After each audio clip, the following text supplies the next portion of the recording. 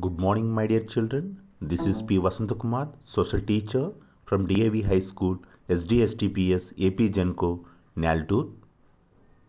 Welcome to the chapter Tanks and Groundwater, third part. In the previous sessions, we learned explain about tanks and the usage of tanks, describe the decline of tanks in our times, and know the importance and use of groundwater and describe rocks and groundwater in Andhra Pradesh.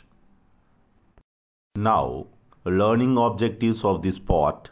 By the end of the chapter, you will be able to explain about groundwater recharge, identify the quality of groundwater. Now let us start how water recharge in the ground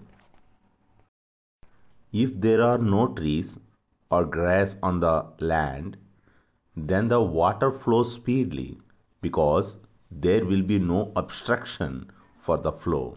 Then water will not percolate into the ground. There will be a great possibility of the water percolating into the soil to join the groundwater if the flow of the rainwater is checked by vegetation or bunds. Grasses are planted on the hill slopes from where a stream starts, and small check dams also built across streams to store water for a longer time. All this helps to increase or recharge groundwater. Due to the cutting down of forests, the amount of water which percolates into the soil has declined. It causes the rapid fall in the water table or water level by half to 2 meters every year. The groundwater will decrease over time if we draw more than the water that percolates down. During the last few years, we have been left with little groundwater. The rainfall will be only for 3 to 4 months in our country and we depend on groundwater for the rest of the years. Rivers, wells, and ponds all get their water from these groundwater sources. That's why, my dear children, we have to take steps to increase groundwater. Water flows quickly into the streams and rivers. There will be a great possibility of water percolating into the soil to join the groundwater if the flow of the rainwater is checked by vegetation or bunds.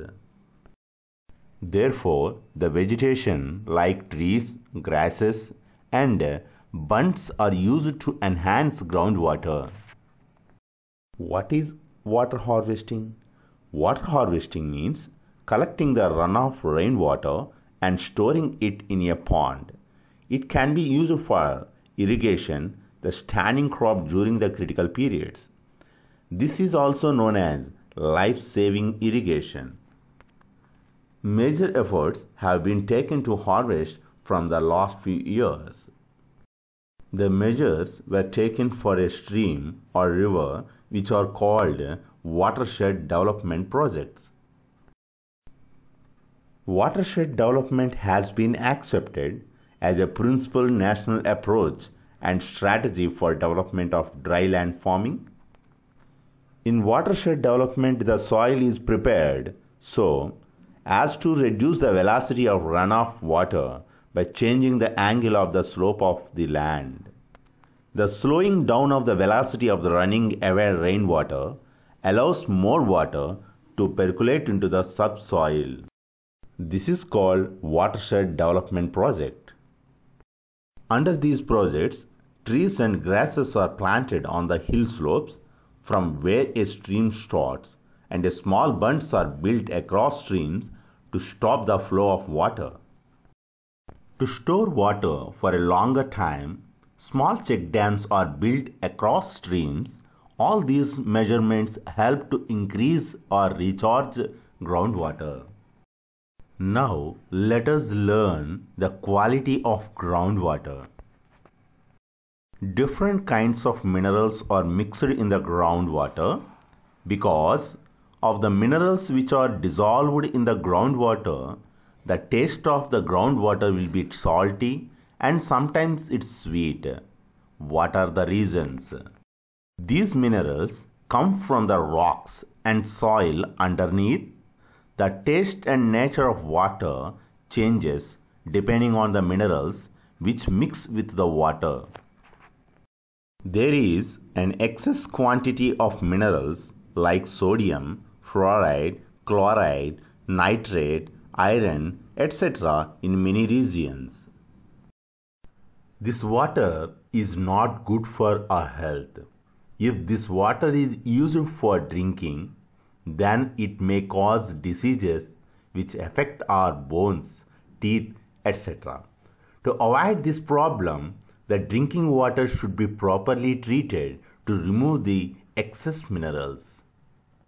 We also pollute our groundwater due to the excessive use of fertilizers and pesticide and poor drainage.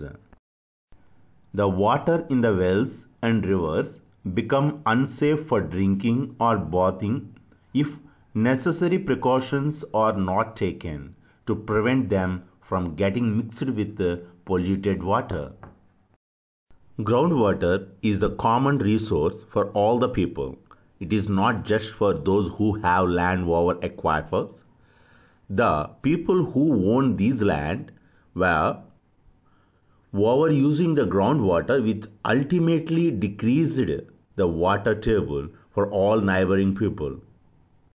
Some of them dig deeper tube wells which cause further decline in the water level. As a result, the wells go drier. If we use the groundwater as a common resource and in a restrained manner, we can ensure that everyone is able to benefit from them. If we not use the water in a restrained manner continuously for a long time, then the tube wells not have any water left to pump even though it has been dug deeply. Today's generation has received water from the past as a sacred asset. We should give it to the future generation just as we received it.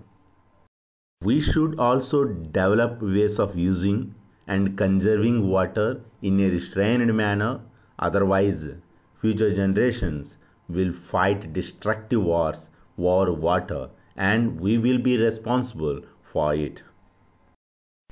I hope you understood this lesson in a proper way. In the next session, we will meet with new chapter. Thank you.